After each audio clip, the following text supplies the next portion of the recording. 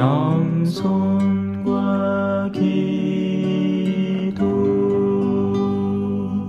천미 예수님 방금 전에도 우리 꼬맹이 친구들이 밖에 소복이 모여서 저를 기다리고 있었습니다. 다름이 아니라 복돌이 보여달라고. 그래서 아이들을 모아놓고 이야기를 했습니다. 오늘 신부님은 복돌이를 보여주지 않을 거야. 너희들이 미사를 충분히 다 완료하지 못하고 나와서 복돌이를 찾는 모습은 신부님은 예수님을 사랑하는데 너희들은 복돌이를 더 사랑하는 것 같아서 그래서 너희가 원하는 것을 줄 수는 없어.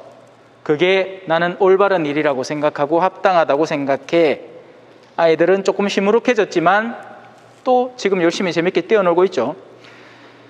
훈육, 가르침은 누구에게나 필요합니다, 사실. 이건 물론 아이들 세대에 배워야 할 수 있는 가르침들이 있고, 아까 읽으셨던 그 독서의 말씀처럼 뭐 옆구리를 때리라고 때리라는 말은 아니에요. 이 몸에 몸이 아플 때는 어떻게 합니까? 수술을 하죠. 수술할 때 여러분 손도끼 들고 수술합니까? 여기 상처가 났다고 손도끼 들고 여기 내리 찍어요? 아니죠. 메스를 씁니다. 상처를 최소화하고 환부를 도려내어서 그 사람의 건강을 회복시켜 주는 게 목적이지 상처 고치겠다고 알을 처덕처덕 때리면 안 돼요. 예. 수술하는 방식은 다양한 겁니다. 부드럽게 수술을 할 수도 있고 필요하다면 마취를 할 수도 있죠.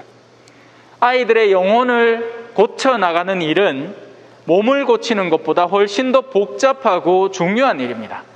여러분들은 기본 인내로 무장되어 있어야 돼요. 여러분들에게서 신경질적인 모습이 나타난다거나 아이들을 그때그때마다 즉각적으로 바꾸려는 시도를 할 때마다 영혼이 상처를 입게 됩니다. 그래서 옳고 그름은 분별을 하고 무엇을 해야 하는지를 알게는 하지만 그 구체적인 방식에 있어서는 굉장히 부드럽고 천천히 다가갈 수 있도록 노력하는 부모님이 되셨으면 좋겠고요. 오늘 복음 말씀은 진주에 대한 것입니다. 결국 여러분들이 소중히 여기는 진주의 가치를 아이들이 배울 수밖에 없습니다. 사실 오늘 강론 때 제가 다 설명드린 거죠. 예.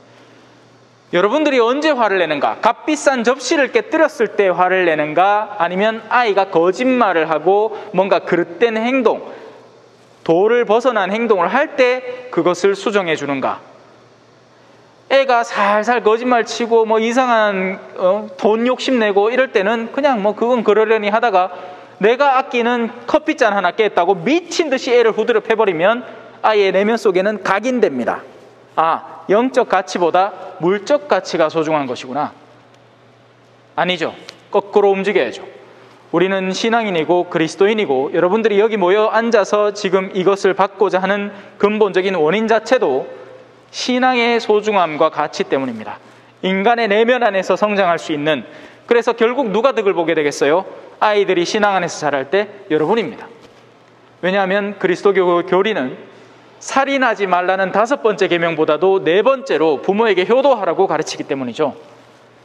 그래서 아이들의 내면이 신앙 안에서 하느님 안에서 올곧게 참된 가치를 배워가면서 성장할 때 가장 첫 번째 수혜자는 여러분들이 되는 겁니다. 여러분 보험 다 드시죠?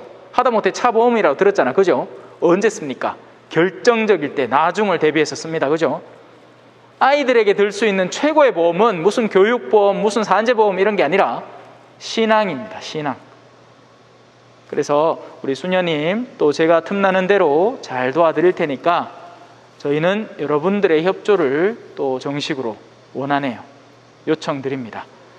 어, 이런 모임 자리가 있을 때 잘 참석해 주시고 이 찬찬히 교육 과정을 따라와 주시면 분명히 득이 되리라 생각을 합니다. 찬미 예수님 겸손과 기도